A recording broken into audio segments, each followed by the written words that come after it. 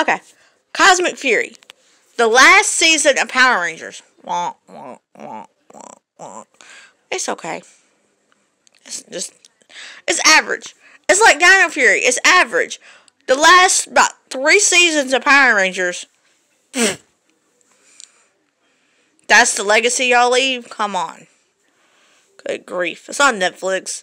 Uh, Box Movies HD has it too. Um, I enjoyed it. Billy being in it though, Billy made it come back full circle. Um, I'm not sure if this ties in with Once and Always or not.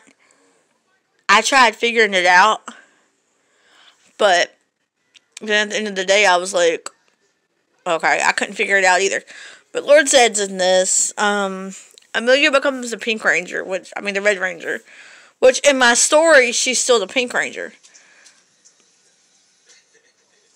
So my story is kind. of. I'm thinking it's. I'm making it chronological to Cosmic Fury. Cosmic Fury hasn't happened yet. Um, in my story, but Cosmic Fury is okay. Get back to me in ten episodes when I finish it, and I'm doing this review on it. Um, with that said, may the power protect you all, and bye for now.